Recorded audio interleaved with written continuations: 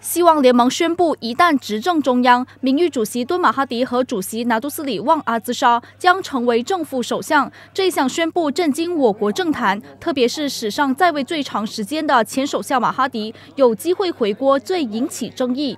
马华总会长拿督斯里廖中来星期二出席马华中央党校网站推介礼后，也加入炮轰行列。他列举公正党和行动党都是没有原则的政党，过去高呼烈火莫熄，二十年后却忘得一干二净，推举昔日死对头担任首相人选。他也揶揄敦马已经带领土团党集结在野阵营。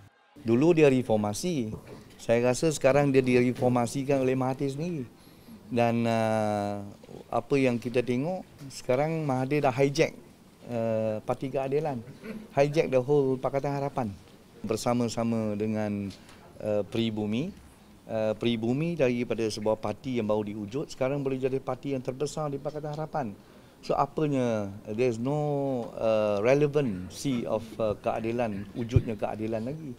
Tak ada lagi uh, uh, uh, dak asas dia apa asasnya wujudnya keadilan. Kerana keadilan uh, perjuangan hanya untuk seorang diri uh, Anwar Ibrahim saja.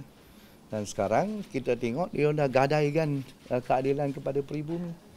Dan peribumi pula yang sekarang memimpin ke semua Pakatan Harapan. So